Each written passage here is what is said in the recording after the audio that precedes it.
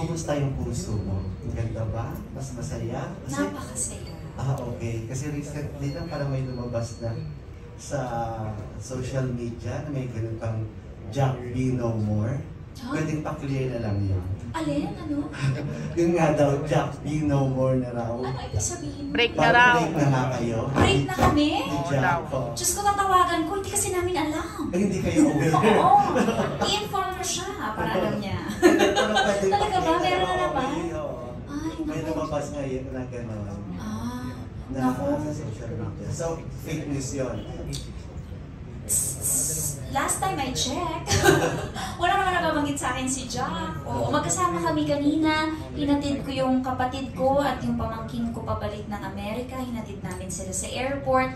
Very hands-on ninong siya sa pamangkin ko, which is very uh, touching for me kasi um, naunang umuwi yung kapatid ko from the US bago ako nakapag-leave um, sa trabaho. So, um, habang wala ako, siya talaga yung naging hands-on. Siya yung nag-asikaso sa kapatid ko, sa buong family ko while I'm gone.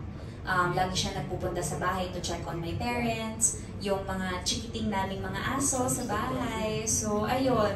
Nagulat naman ako. Break na naman kami. Nag-break na kami parang dati ah. parang ilang episode. Parang, nga. At Parang gusto nila maghiwalay. Ayun na nga. Pero Ah. ayan, to uh, clear everything, um, napakasaya po ng puso ko ngayon dahil um, masayang-masaya po kami ni Jack. Gra- I, I cannot explain how happy we are right now. And yun nga, na nakasama ko ang pamilya ko, nakasama ko ang kapatid ko, ang pamangkin ko, ang brother-in-law ko, kasama si Jack with my whole family.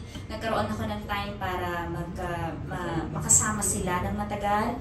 And ngayon, meron akong na, na napakalaking proyekto which I'm very thankful for. So, all in all, napakasaya ng puso ko ngayon, Tito. Nakikita Thank you so naman. much. Nakikita naman. Ko nga, akala ko gumanda ka lang dahil umiiyak ang puso. Ganon! Oo. Diyos ko naman! Ano ba yan? Okay.